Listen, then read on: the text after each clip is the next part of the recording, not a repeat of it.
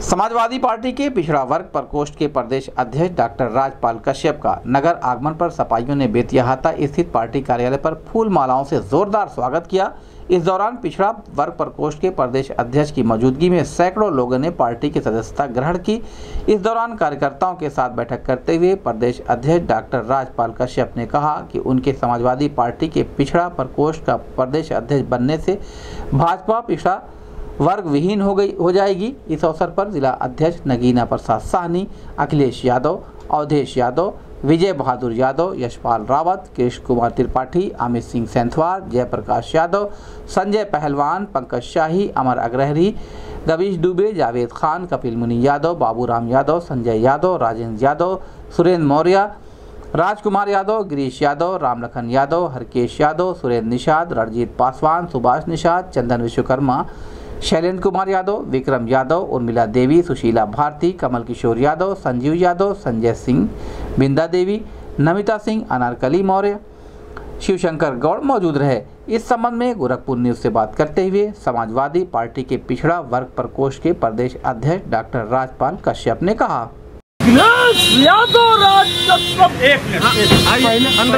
Minute में अच्छा रहता है इधर खड़े हो जाओ ये ठीक है ये ठीक है। अरे बस एक मिनट माला जाए। हाँ, माला। राजपाल कश्यप जिंदाबाद। जिंदाबाद जिंदाबाद। लेकिन हमारी राजपाल कश्यप जिंदाबाद राजपाल कश्यप जिंदाबाद। आगे सर जाओ आगे पीछे को थोड़ा सा आगे जिंदाबाद।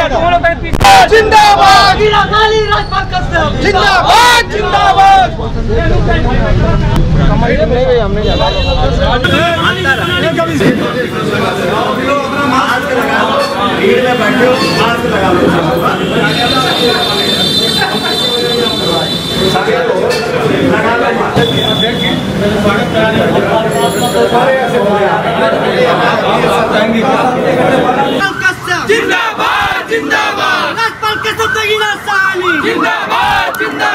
गोरखपुर आगमन हुआ है, चुनाव लड़ के आते हैं। आज गोरखपुर में हम लोग आए हैं अपने पिछड़े लोगों को जोड़ने के लिए। भारी संख्या में लोग ज्वाइन कर रहे हैं। अब बीजेपी पिछड़ा विहीन हो जाएगी।